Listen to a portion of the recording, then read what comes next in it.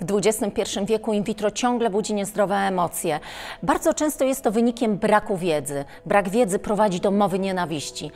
A tego już mi, jako mamie dwójki dzieci e, urodzonych dzięki metodzie in vitro, bardzo trudno zaakceptować.